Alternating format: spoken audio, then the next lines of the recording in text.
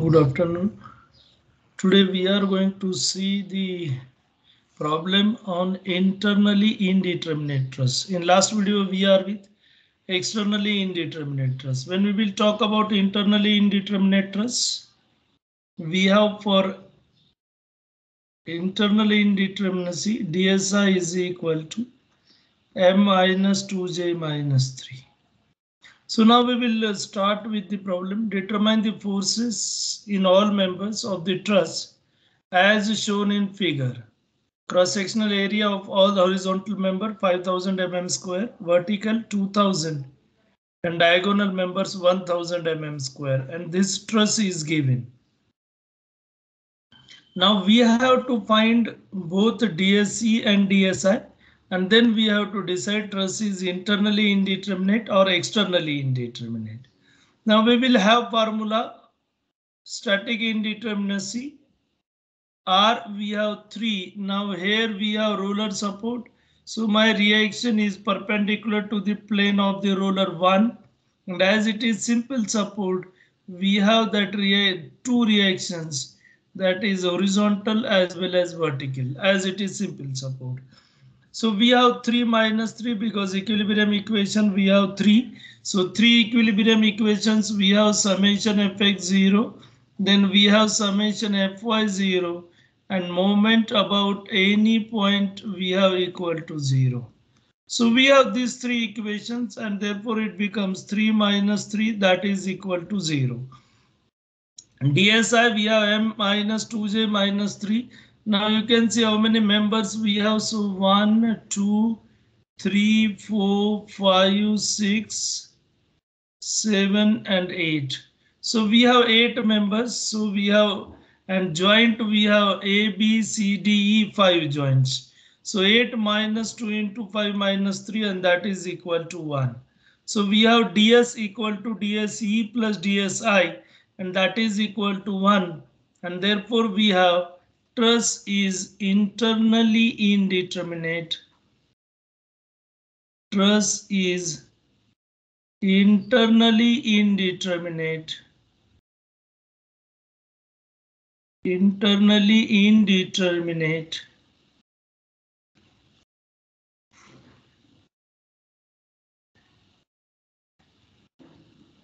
to degree 1. Therefore, member we have to consider as redundant and we will consider member AC as redundant. So AC member we have redundant.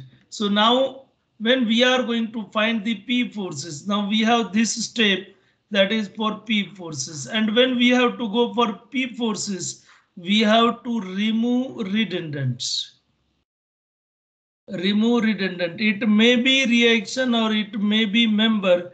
We have to remove redundant and therefore we have removed AC member.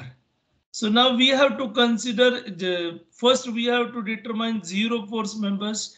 Now you can see as joint C if we will consider and at joint C if we will draw this then we have CD member and CE member. These two are collinear so force in this member should be zero that we have seen over here.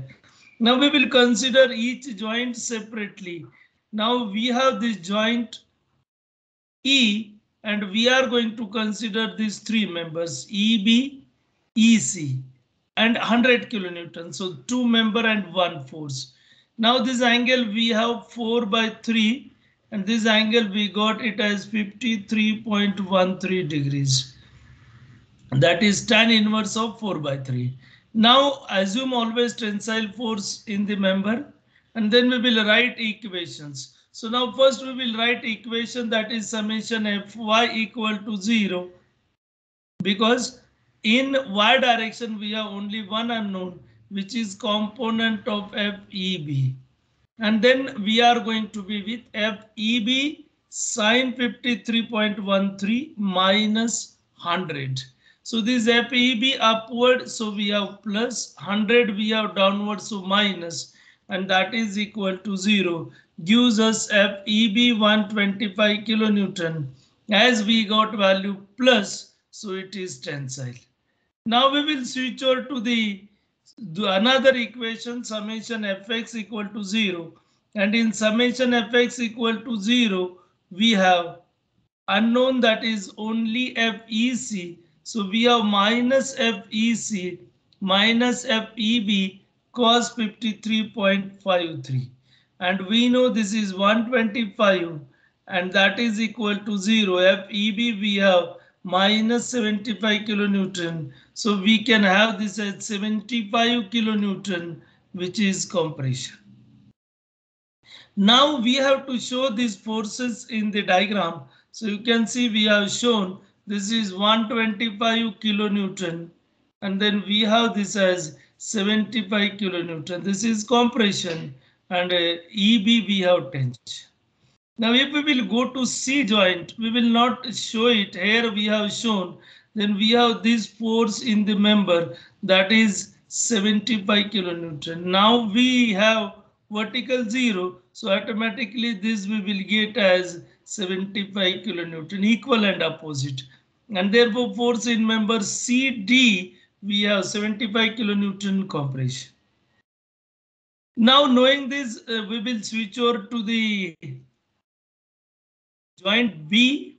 So now at joint B we have four members. Out of these four we know value of 2 so unknown are 2 only. So we have this 0 we have this as 125 so first we will apply uh, summation fy0 because unknown is fbd only. So we have summation fy0. And from this we will get minus fbd sine 53.13 that is component of this member and then again component of this member minus 125 sine 53.13 equal to 0 and from this we will get it as so sine 53.13, 45 is not there. And minus 125 sine 53.13 gives FBD minus 125. As we got it as minus, so FBD we have compression. Then uh, summation fx equal to 0 we will apply unknown is only FBA. So we have minus FBD cos 53.13 component of this then we have component of 125. Now component of this is plus because we have component, this is in fourth coordinate and therefore we have x as plus. And then minus FBA and that is equal to 0. And from this we will get FBA and that FBA we will get it as equal to 150 kilonewton because now FBD we have minus. And so this minus minus becomes plus and FBA becomes 2 times 125 cos 53.13. This is most important. We have value of FBD as minus 125. We have to keep in mind this minus 125 kilonewton that we have to put minus 125 and from this we will get FBA as 150 kilonewton. Now we will show these forces. So this is 125 kilonewton which is BD compression and BA we have 150 kilonewton tension. So now we have to find force in AD only and now if we will see AD so we have AD that is equal to component of this 125 vertical component vertical component of this goes downward which is 100 kilonewton. So we have in da upward which is 100 kilonewton. Or we can have this four reaction that is equal to 100 if i will apply summation fy0 and then this 100 kilonewton will be balanced by this vertical component of reaction at a and that will be upward. So force in this we have downward 100 kilonewton. So we have these as the P forces in the members. Now we will show these uh, P forces in table. Now we will go for K forces. So now we have redundant as AC and we have applied unit force in this. So we have one in this and then we will calculate others. Now you can see we have joint E and as no external load, no reaction at E, so force in both members becomes zero. And then we have to go for only these forces in these six members. So now we will have AC1. So now we will consider joint C. Now at C we have this as zero, this is known. So we will find force in CB and force in CD. Now simply we have cos component of this will gives us force in member FCD and sine component gives FCB. So and will be Fx0. So we will have minus 1 sine 1 cos 53.13 minus FCD and that is equal to 0. So FCD equal to minus 0.6 and that is compression. Now similarly, if we will apply summation Fy0, then you can see in this summation Fy0, we have only vertical component 1 sine 53.13 plus FCB and then it is also minus 0.6 compression. So we have this as same. Now if we will go at joint B and then if we will solve this, so you can see we have uh, as 0.8 and if we will apply this then we will get FBD1 plus tensile. And then if we will calculate Fx0 then we will get it as 0.6 compression and accordingly we will get this as 1.6 and automatically we have at D that is dA 0.8. So we have this as K forces. Now we will tabulate all these P forces and K forces in this table which we have seen in last video. And just I will put this member length area P force this P we have in kilonewtons. Then we have K force PKL upon A we have calculated. K square L upon A we have calculated. Then we will go to the next member. So we have in this next member that is member BC. Then we have this data for BC.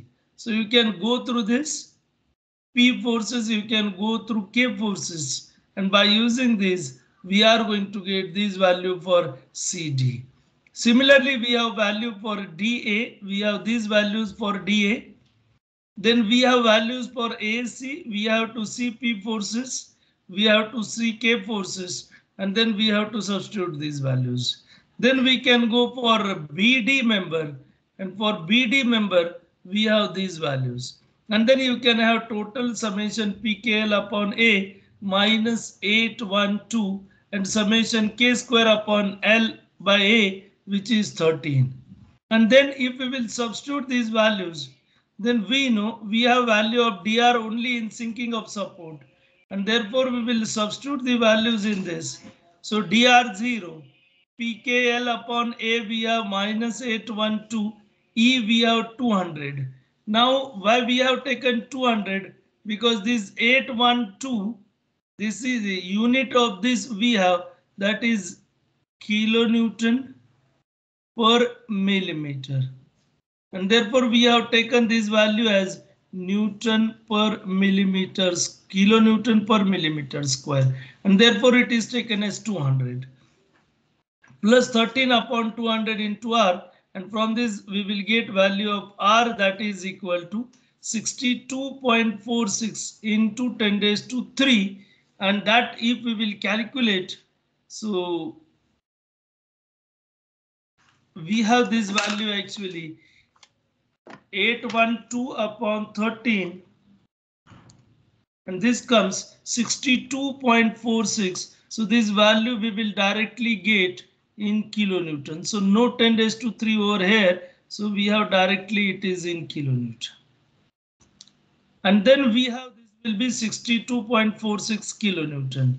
So knowing this value, we can find force in all the members by using the formula that is PF is equal to P plus KR. If I will go for member AB, now try to understand this. For AB, AB we have value of P as 150 and then we have K 0.6, so minus 0.6 into R we have 62.46.